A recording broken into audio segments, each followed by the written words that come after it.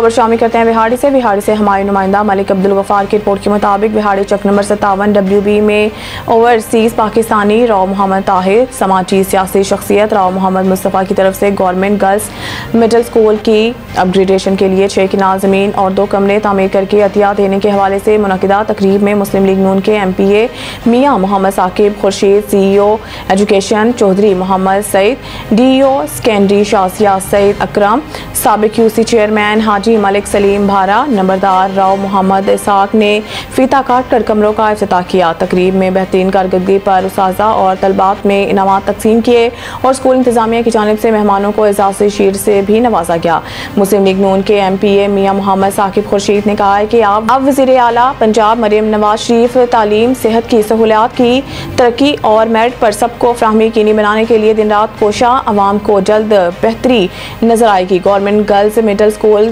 ستاون W B high school بننے سے اہل علاقہ کا درینہ مطالبہ پورا ہو جائے گا۔ سی E O education Chaudhry Muhammad سعید نے بتایا ہے کہ اسکول کی اپ گریڈیشن کی عملی ابتدا نویں کلاس سے اجراء سے ہوگی ہے۔ سیکیورٹی تدریسی عملہ کی تعیناتی کمپیوٹر لیب اور دیگر کلاس رومز کی تیاری انٹرنیٹ کنیکشن کی تنصیب جلد یقینی بنائی جائے گی۔ District education officer secondary Shazia Saeed Akram, Rao Mustafa, Rao Kamran Akbar, Rao Tasawar, Din Muhammad اور ہیڈ مسٹر مجلس رابعہ فیض نے اپنے خطاب میں اس عمل کو صدقہ جاریہ قرار دیتے ہوئے عطیہ دینے والوں کے جذبہ کو سراہا۔ آخر میں راؤ غلام مصطفیٰ نے تقریب میں آنے والے تمام مہمانوں کا شکریہ ادا کیا۔